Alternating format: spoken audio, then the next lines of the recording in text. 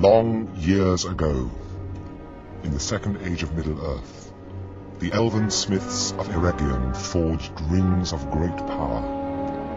Then the Dark Lord Sauron forged one ring in the fires of Mount Doom in the land of Mordor. This ring he made to rule the others, and their power was bound up with it, so that they could last only so long as it too should last. And from that time, war never ceased between Sauron and the elves. Three rings they hid from him, but the others he gathered into his hands, hoping to make himself master of all things.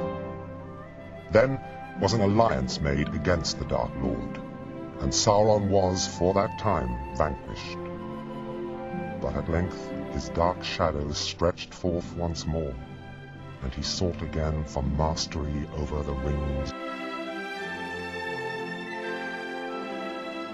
Three rings for the elven kings under the sky, seven for the dwarf lords in their halls of stone, nine for mortal men doomed to die, one for the dark lord on his dark throne in the land of Mordor where the shadows lie.